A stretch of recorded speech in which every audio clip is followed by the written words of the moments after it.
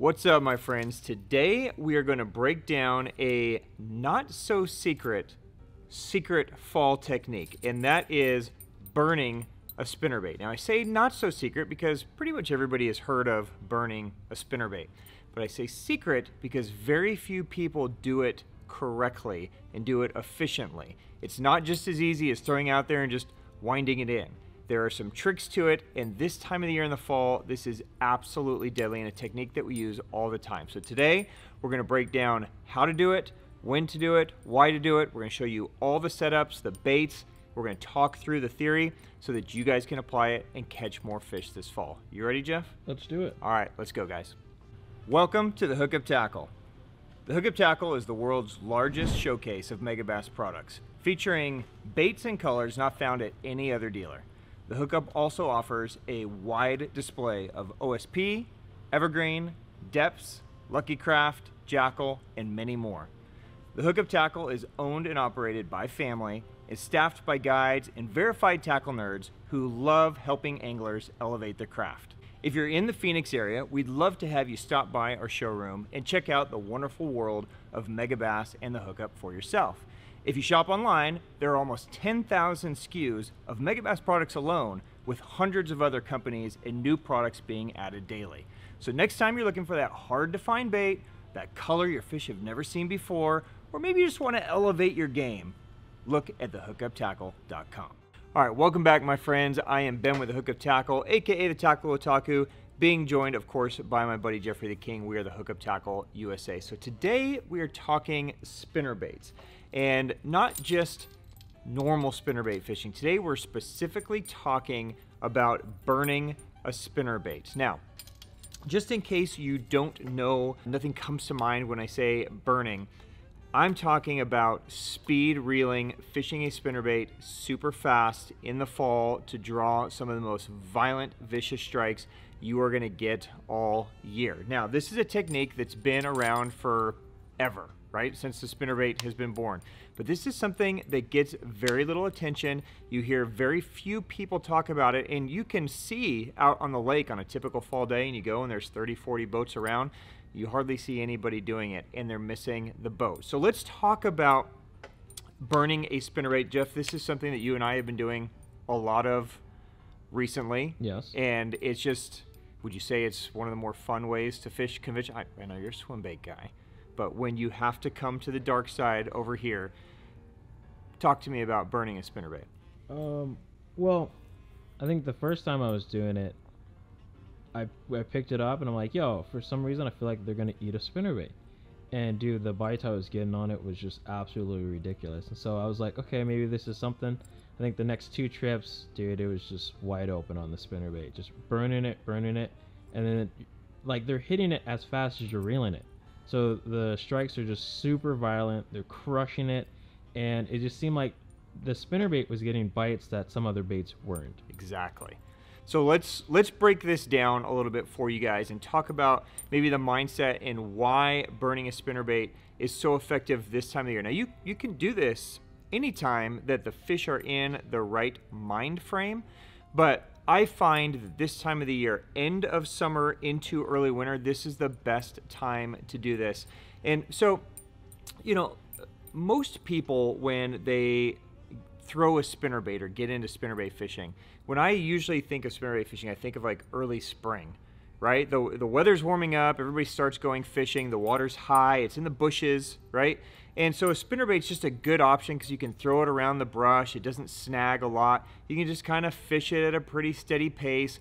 And that time of the year, you know, the bass metabolism is still pretty low. They came out of winter, so they're, you know, cold and really low metabolism and they're just kind of coming into the shallows and so they're not super juiced they're not really aggressive they're not running real fast swimming to chase stuff down they're kind of just chilling by bushes and if something easy with some vibration some flash comes by you know, they eat it. And fishing is generally good enough in the spring. You can almost catch them on anything, right? So spinnerbait is just a great way to, you know, pick that shallow cover water apart. So when we get to the fall and the fish start moving back into the shallows, you know, they've been offshore in the summer and they start moving back up into the shallows and starting to migrate to follow bait, A lot of guys pick up a spinnerbait and they fish it the same exact way that they fish it in the spring, right? They throw it by a bush and they wind it slow, or they throw it down a dock and they wind it slow, right? And there are times when that's all you need to do. And just like in the spring, a fish is positioned right and this slow moving bait comes by and they eat it and you catch them. But the difference between fall and spring is the behavior of the bass are much different now than they were six, seven months ago. The bass have been hanging out with some buddies all summer, Mhm. right? They've been schooled up, they've been in little groups, right? Um, they've been following offshore bait or sh- set up on structure where they're feeding on, you know, shad and herring and different species of bait, gobies, if you guys are in the north and they're much more aggressive. Their metabolism is much higher. They're much more juiced, right? They know, okay, the weather's cooling now instead of warming. So they know that winter's coming. So this is like their last chance to really kind of fatten up and feed while they've got some juice in them and some metabolism. So they're going to be much more aggressive this time of the year than they typically would be like in the spring when they're in the shallows. So we can use that to our advantage and basically trick them and use their instinct against them to get them to eat a burned spinnerbait. So, when you see fish this time of the year in the fall, bass relating to bait, usually you see the bass crushing the bait, whether it's in the shallows or offshore. This is the time of the year where you can see boils, you can see wolf packs and schools chasing bait up, right? So if they're used to seeing shad fleeing very quickly and you throw a bait in there and you move it very slowly, well, it doesn't really look like anything. It's not really drawing any attention. It doesn't look natural. It's not drawing an instinct. So that's where burning is going to come into play. This is also an amazing technique offshore. So we're slow moving a spinnerbait by a stump or a rock or a dock really is best for shallow water. Burning a spinnerbait is just as effective offshore in an open water as it is shallow, and we'll kind of talk through why that happens. So, first off, you know, whatever spinnerbait you guys want to use is fine. I'm going to break down the spinnerbaits that we use to give you guys a starting point and explain what it is and why it is that we're doing this. Okay, so first off, I always use a double willow. Okay, now willow is going to be this shaped blade. Spinnerbaits usually come in single willow, double willow, Colorado willow, double Colorado, a bunch of different blade type combos, right? I'm always using double willow for burning a spinnerbait. And the reason for, well, two reasons for that. First off, this is the easiest blade to spin, so it requires the least amount of water resistance to get it to turn. So I can fish this the quickest, okay? The second reason is, is these blades are longer, and you can hear just by me sitting here, right? You hear that little clack? Well, that same sound can be made underwater, right? So as this thing is moving and spinning and you pause it and those blades clack, right? It's creating that same kind of knock sound. So it's giving me the most flash because it's the biggest blade, the easiest to turn so I can fish it the quickest, and if I do kind of a burn and pause every once in a while and I mix that pause in, the blades can clack together and give me some sound also, which is great in open water for calling fish, and it's great in muddy water for bringing fish to it when they can't necessarily see it visually. Now, we use a couple different spinner baits um, for this technique. We've experimented with almost all of them. I find that these are the best ones. So like I literally just went and grabbed the rods out of the boat, right? Um, so I'll show you. So this is a Megabass SV3 spinnerbait. So this is almost always my starting point. This is, I see this on your rods Yes. a lot too, Jeff. That's So- the one that I like. Okay, so a couple things about this spinnerbait that we like. So first off, it's a compact spinnerbait, so it's pretty small. So it's a good one for matching bait that's of the smaller size. So if the fish are feeding on threadfin shad, gobies, smaller bait fish, the SV3 is a great one. Let me try not to hook myself. That would be great That'd in be this episode. Okay. So this is a great one when you need something like normal to small size. The other reason we like this is if you notice on the head shape, it's got a unique kind of head design on there. Dude, I am train wreck today. You okay right now? Yeah, I think I'm alright. I just need to be fishing. So you notice it has a unique head shape to it. It's much lower, it sinks much deeper than a traditional spinnerbait does. The design of the SV3 is actually to be more of a bottom contact spinnerbait and to help keep the spinnerbait down lower in the column. But we find that that head shape makes an excellent head shape for burning so you can fish it very quickly and it keeps it keeled. And it's important that the bait is keeled so it's constantly running straight. If the bait doesn't keel right, then it'll turn on its side and it'll kind of roll a little bit and it's not as effective that way. So we want to make sure that even at high speeds, the spinnerbait is tracking super straight. The other thing that's great about this bait is it's got a heavy gauge wire. So this is a real heavy gauge wire. Now this is important because a lot of times you're fishing it super fast and the fish, like Jeff said, they hit this thing so hard that if you have too light of line or too light of wire, then shit just goes wrong, right? You can break off on a bite. The spinnerbait can bend in 42 different directions, right? So this heavy gauge wire is great because it allows me to stay on heavy line. It can withstand the impact of a heavy fish and I can pull the fish out of cover if I'm shallow. Now, they Megabass designed these blades specifically for this heavy wire. And these blades are much thinner than traditional blades. So typically with heavy wire, you give up some vibration, but you get some strength. So with this one, you get the strength of heavy wire, but you keep the vibration of the thinner blades. So you kind of get all the best combinations. So that's why we typically choose this as our starting point. Now for me, as far as weights go, half ounce and 5 eighths ounce are the two sizes you guys are going to want to be using. I start 5 8 ounce 100% of the time. This is like my go-to, probably 90% of the time I live here. Half ounce is where I go if this is just too big. Where are you at, Jeff, in this mix? I normally start with half ounce. Okay. And if I feel like the fish aren't as shallow as I'd want them to, then I will go to 5 eighths. Okay. So, you know, experiment, play.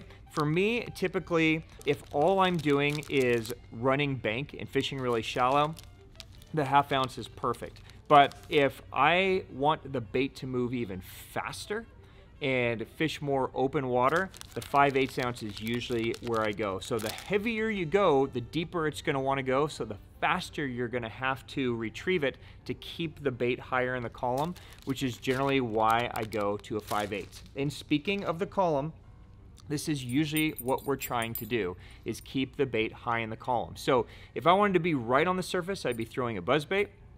If I want the bait to be kind of just below the water surface, then the burning of a spinnerbait is one of the best ways to do it. And I want to keep that bait up because I want the fish to be looking and seeing the flash and seeing the vibration, just like shad or natural bait fish would be just burning past them. That's what I want to do. Now, there's no reason why you can't take it and sink it out into deep water and then just burn it back. But all that's going to happen is you're going to create this big bow and it's just going to basically just come straight up, right? So this is really a top of the column type technique. It's a technique where you want the fish to be looking up and seeing that thing moving super fast. You're going to utilize the brightness of the sky, the sun, the clouds, just the sky, to kind of break up the silhouette so that all they're seeing is just that occasional flash, occasional color, a little bit of sound, and they strike because they think it's a, a bait fish that's broken away from the school that's panicked trying to get away. Okay, so SV3, that's a great starting point and probably my starting point the majority of time. And again, 5 8 ounce, half ounce. Colors, I keep it in shad profiles or bait fish profiles. So Wakasagis, white, or you know, if there's a little stain to the water or there's smallmouth around, then I'll mix in some chartreuse, like a chartreuse in white or an IU type color as well can be great. Now, the other one for a heavy gauge wire that I will use a lot is the Gancraft Killers Bait Over. Now, this is going to be more of a full-size offering. Uh, again, 5 8 ounce is usually where I start because it allows me to fish the bait very fast, but of course you can go to a half ounce if that's better. Once you get to kind of a 3 quarter ounce size in spinner baits, they become so heavy, it's hard to keep them up. So I find that for the really fast burning half ounce and 5 8 those are the two sweet spots. But use whatever is working for you guys. If you need to go even lighter to like a 3 8 or a quarter ounce, great, do it. The problem is, is you go too light, there's not enough to keel it. And so the bait's can have a tendency to roll, okay? But I will switch to the killer's bait over when I need more blade, okay? So with the SV3, the blades are very small, it's very compact. With the killer's bait over, the blades are very big. Let me take it out so you guys can see the difference here real quick. So you can see how much bigger the blades are on the Gancraft. So you know, this is important when I need to create more sound. So you can hear that clacking just by me sitting, so you can see the size difference. This is gonna create more flash, it's gonna create more sound as they pause. So what that means is, as I'm burning it, every once in a while I just pause the bait, right? So I'll burn, I'll pause, I'll burn, I'll pause, and that way those blades are spinning, and then when they pause, they clack together. Okay, so I need more sound for open water or muddy water, then I'll mix in the Gancraft. Now, for that technique, I pretty much live on 16 pound fluoro. Okay, so you can go to 18 or 20 if you're fishing a lot of cover. 16 for me is kind of a sweet spot. It's got good castability, but it's really strong. So if I get a violent strike while I'm in the middle of just burning it really fast, it's enough and strong enough to absorb the shock from that to where it's not going to break on me. So 16 pound is pretty much where I live. Uh, I like the J Fluoro Samurai uh, for this because it's not quite the castability of something like a sniper, but it gives me a little bit more impact resistance. And I don't really need castability when I'm throwing a 5 8 ounce spinnerbait. Uh, it's heavy, it's really compact, the wind's not really gonna hold it up. So I can do with a little bit stiffer line. I'd rather have that little extra impact, so that's why I go here. So I live here. Every once in a while, I will add a trailer hook to it. So I always keep trailer hooks uh, on standby. Again, these baits are moving really fast. So if you're if you're moving them and you're burning it and a fish is is you're feeling the fish bite, but they're just not hooking up, they may just be behind the bait. So sometimes adding a trailer hook can be an important tool to help you land more fish. I try not to add the trailer hook because the majority of time uh, they smoke this thing. You can't out reel a bass. Do you think you can outreel a bass? Absolutely not. Yeah, I don't think you could outreel a bass. Sometimes it feels like you're just fishing so fast that there's no way a fish can eat it. I don't think you can out outreel mm-hmm. them. So no matter what, no matter how fast you're fishing this thing, they can see it. They can target in on it. They know it's coming. So the problem a lot of times with adding that trailer hook is the fish that are eating this are aggressively attacking it. They think it's a real bait, so they are getting the whole thing in their mouth. So if you set that trailer hook back too far, you're gonna end up hooking them in the gills a lot and they're gonna bleed, you're gonna hurt them, you're gonna kill them. So I generally just go straight out of package. I almost never use a soft plastic trailer because all that's gonna do is slow me down. Now, if you want to change your color a little bit, then you can maybe add a soft plastic trailer. You could put, you know, something a little chartreuse or, you know, with a little bit of flake just to give yourself a color pop if that might help be a trigger mechanism. If I do a trailer, it's almost always like a shad tail or swing impact style trailer. Something like this, so OSP makes the HP shad tail, Keitech makes the swing impact, not the fat swing impact, the skinny one.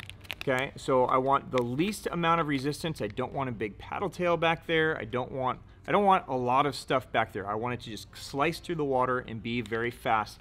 Again, the only thing this is gonna do is just give me a little bit of color pop if I need it. Okay, so if I feel like I'm fishing white, I'm like, ah, man, I just want a little bit of chartreuse. I could add a little chartreuse to the back of it and have it. If I just want a little flake, right, I can add it. So occasionally I will do a trailer, but I would say 95% of the time it's bait by itself. Now, the one mod I will do to this, and I do this a lot, and this is one of my favorite mods, I've talked about it a lot, is I will add the plus blades to it. So G-Nius Project, they make a product called the Plus Blades. You can see it basically uh, almost makes my spinnerbait look more A-rig-ish, right? So the Plus Blade looks like that guy. Okay, so it's just a little wire, basically a wire contraption with four blades on it that literally just snaps on to the front of your spinnerbait. So it just clips onto the front and it basically just gives you four more blades underneath it. They're small. So this is a great one when the fish are feeding on like micro bait. So a lot of times you see them and they're feeding on big full-size shad. Don't need this. But a lot of times you see them and they're eating tiny little bait still, even in the fall. It could be small shad, it could be minnows, it could be fry still. You know, a lot of times you'll get, you know, late uh, summer or early fall shad spawns, and so you get a lot of small stuff. So, you know, adding this plus blade just gives it a, another element. It looks like a whole little pod and a whole school of fish going by, and they violently strike this thing. So I will add this a lot. Again, I just throw it on the, the SV3 is perfect for the plus blade because it's compact anyway, so it keeps the profile down. The one little tip I will give you is you're gonna wanna get some type of keeper. I use this decoy silicone keeper. This one works great. You can also use the eye guard, but that keeper will just slide up and over the spinnerbait there and it'll just hold that plus blade in place. Okay, so it just helps keep it on the spinnerbait. The one downside of these plus blades, especially when you catch fish, is they have a tendency to come off the spinnerbait and slide up your line. Then you end up having to cut your spinnerbait off, slide it back, reattach it, retie the spinnerbait. So you know, there's a couple extra steps that are somewhat of a hassle, but you're going to get bites that you're not going to get without it. So it's an important tool for me and one that I always keep rigged up. Okay. Now, let's talk about the rods really quick for this. I have basically three main setups for my spinnerbait. So the one in my hand, this is the Destroyer P5 Mad Bull. This is a great one for burning a bait because the rod bends deep through the blank right? So this is one that I can fish super, super fast. It's sensitive, but then when I get that violent strike, the rod helps absorb some of that strike and then I've got plenty of power for setting the hook and landing that fish. So this is kind of my open water masterpiece rod. So if I'm fishing out across a point in open water, you know, chasing down schools or anything like that, it always goes on the Mad Bull. Uh, 7 to 1 or 8 to 1 reel. I love the Steez Um, I love the Metanium DCs, the Zillions. Any of those are great, whatever reel works for you. Um, but you want it to be a 7 to 1 or 8 to 1. I think 7 to 1 is perfect. 8 to 1 if it's a low speed 8 can be good. So like Daiwa makes 8 1 to 1, that's perfect. But once you start playing the 8 3, 8 5, 9s, they go so fast that your spinner baits are going to start lifting to the side. Okay, 16 pound fluoro again. This other guy here, this one is the actually the 7.2 uh, heavy Daiwa Steez AGS, which by accident Jeff and I figured out makes an incredible spinnerbait. Oh, it's fire. Rod. Yeah. Oh, I love that rod. So this rod is actually built for pitching. It's called the Power Pitch. It's a great one for just kind of pitching around and that kind of stuff, but it's got this beautiful soft tip on it. So for shallow water, for like running bank and maybe there's some trees or some brush, when you just need a really powerful rod, this rod is so dope. It's super sensitive so you can feel every limb that the spinnerbait hits, every rock the spinnerbait hits, you you have perfect contact to yourself. It's got enough tip so you can cast accurately, but then it's just all straight power. It works amazingly well for spinnerbait. So this is the other one, again, 7 to 1 reel, and you're dialed.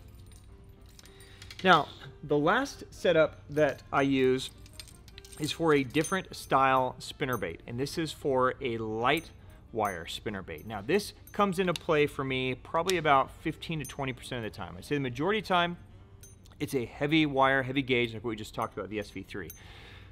Sometimes though, especially in open water, the fish really need extra vibration, extra something, right, to get them to trigger. So when that is the case, I will switch up to something like the OSP uh, this is the High Pitcher Max. So the two spinner spinnerbaits I use is the High Pitcher Max and the Megabass V9. Okay, now both of these are designed with lighter wire. Uh, they're designed to fish very fast, so you can see this gauge wire has a ton of flex to it, right? So this isn't one that's going to be great for like throwing next to a stump and hauling a big giant fish out, right? This is going to really flex and pulse as those blades are kicking back there. It's got you know, some longer strands of skirt, so I don't really need a trailer. It's just got everything perfect on it. The only thing you need to keep in mind is that it's got all this flex, okay? But there are times when they won't touch a spinnerbait unless it's got that flex in the wire. It's just pulsing differently. So for that, I throw another Steez, the 7.3 uh, medium heavy. This is the utility player. It's kind of their all-purpose jig and worm rod. But again, it's an amazing open water spinnerbait. This is my burning spinnerbait. This is my skinny dipper rod for sure. There's so many things you can do with this rod. But you can see, even though it's fast, it bends pretty far down into the blank. So it's going to absorb a lot of that shock with the spinnerbait when they eat it. I will lighten my line here and I will go to 14 pound.